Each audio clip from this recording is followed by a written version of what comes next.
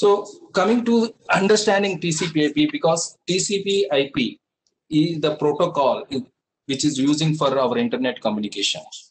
So why we need to understand particularly this protocol suite is the first reason is we are connected through internet. So we are most of the 96% people are uh, they are maybe using TCP/IP protocol uh, even in their organizations also.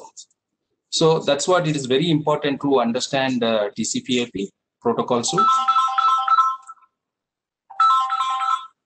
Uh, TCP/IP protocol suite. However, uh, these uh, uh, sometimes what happens, uh, maybe you might be using some different protocol suite like NetB, LAN protocols, and even though IPX, SPX, which is the LAN. mostly the people are not using as much as these protocols. Nine, more than 90, 90% people generally using internet and they are based on TCP/IP. So TCP/IP is designed in such a way that to connecting each other and uh, uh, having a kind of an uh, communications and which you might have seen the proliferation of the entire internet. But however, in this uh, lecture, we need to understand and initially about uh, OSI layers and the TCP/IP suite of layers, how they were different, and what are the uh, what exactly need of these layers, and between difference and the relation between these layers, and understanding about various protocols with respect to the, these layers. So now coming to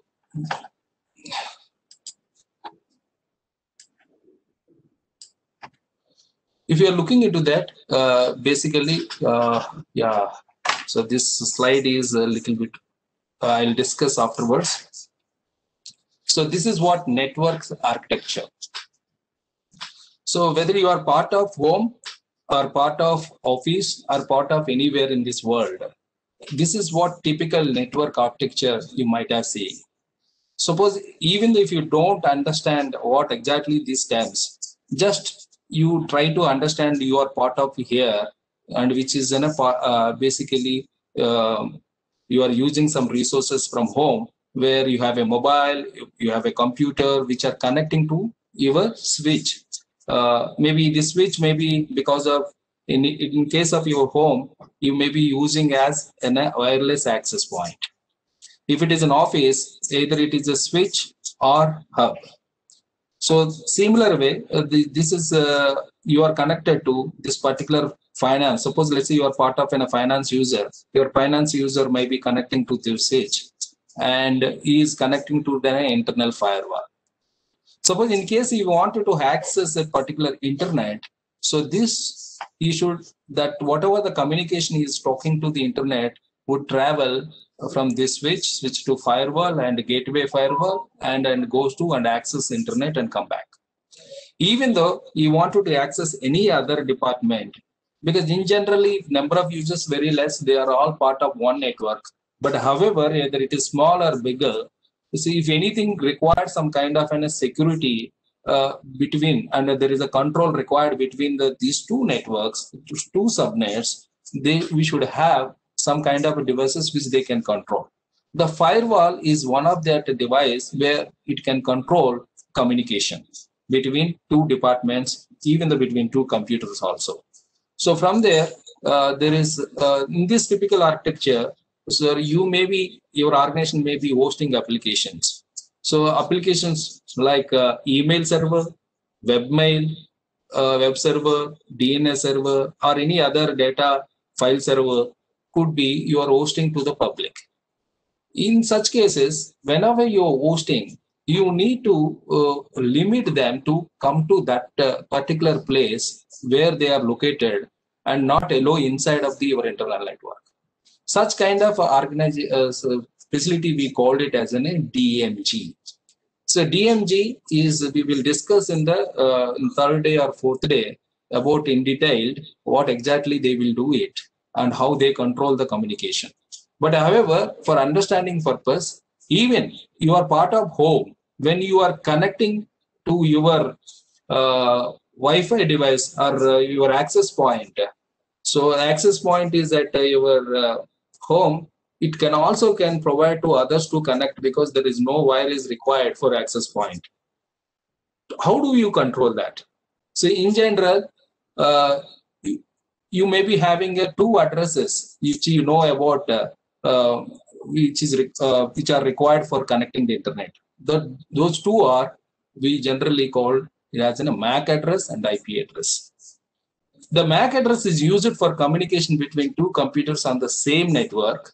Wherever, however, if these if there are two different networks are there to transfer the packets one network to another network, you required IP address.